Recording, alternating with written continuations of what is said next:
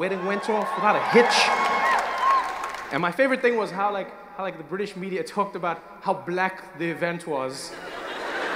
And they want, I understand it. Here's the thing. This is like one of those things where I understand, like they want to talk about it because you're not used to having like a black wedding, right?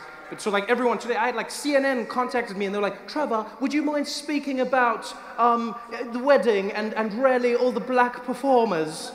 There, there was a black cellist and there was a black choir and a black pastor. How do you feel? Black? I don't know how I'm supposed to feel. What do you, how do you respond to that question? How do you feel about, I don't know how I feel. It's a wedding. I don't know, what do you want me to say? That's a normal wedding. I wasn't watching that wedding being like, whoa, there's black. So much black, another one. It's a wedding. What do you want me to say? It's people.